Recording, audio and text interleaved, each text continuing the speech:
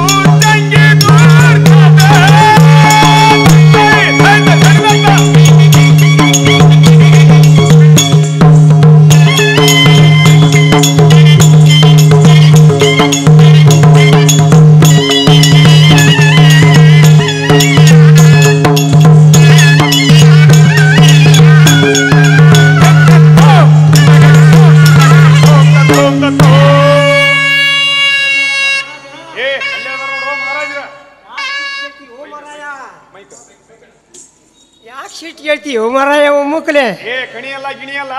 ಅಲ್ಪ. ದೇವ ಮಹಾರಾಜರು ಬಂದಾರ ಮಾತಾಡ್ಸಿಬಿಡ ದೇವಲೋಕದಿಂದ.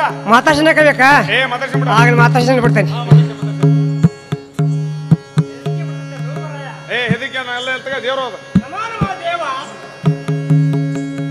ತಾವುದಾರು ತಮ್ಮ ನಾಮವೇನು? ಬೇಗನೆ ಹೇಳುವಂತವರಾಗಿರಿ. ಎಲೈ ಸಾರಥಿ!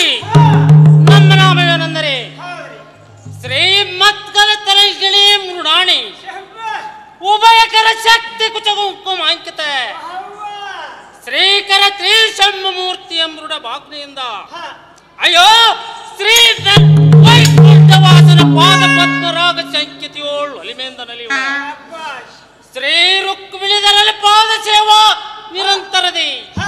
ಸಂತರ ಸೋವಿಲಾಸ ವಿಶಾಲಕರಾಗಿ. ಅಯ್ಯೋ ದಿಗ್ಭವಂತಿಸಲ ಅಮರಾವತಿ ಎಂಬ ಪುಟಭೇದನದಲ್ಲಿ ಐರಾವತ ಕಾಮಧೇನು ಕಲ್ಪವೃಕ್ಷ ಚಿಂತಾಮಣಿ. ಅಮೃತ ಕೂಪ ಪುರುಷಾಮೃಗಾತಿ ಕೇಳ.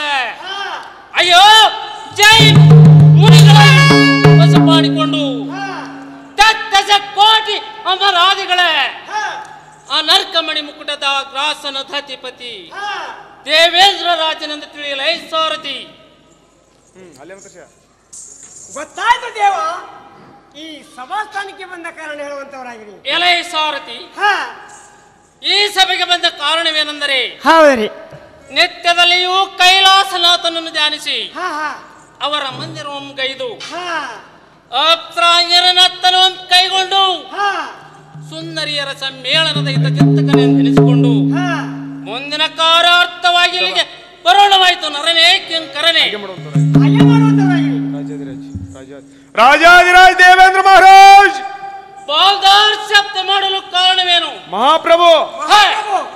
ದಾರಬೈಲದಲ್ಲಿ ಮಹಾಸಮ ಹೊಂದಿರುವುದು. ನಿಮ್ಮ ಅಪ್ಪಣೆ ಆದರೆ ನಾನು ಒಳಗೆ ಬಿಡುವೆನು. ಒಳ್ಳೆಯದು.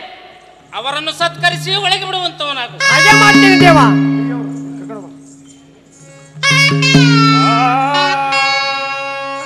ನಾರಾಯಣ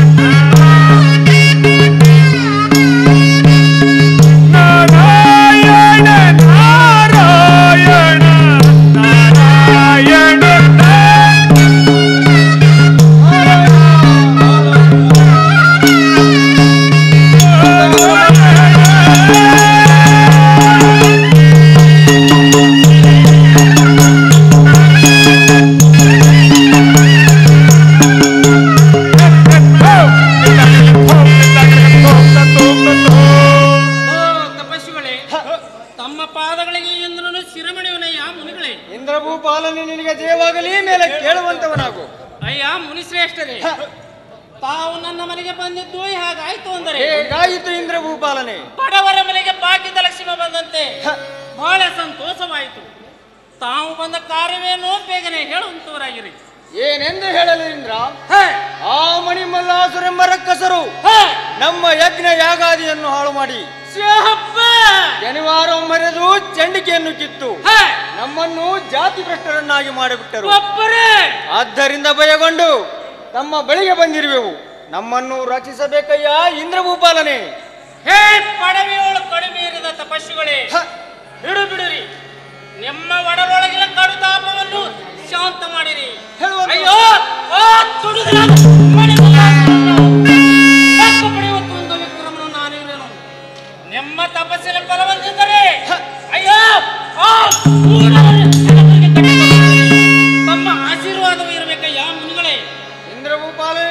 ಆಗಲಿ ಹೋಗಿ ಬರುವಂತವನಾಗು.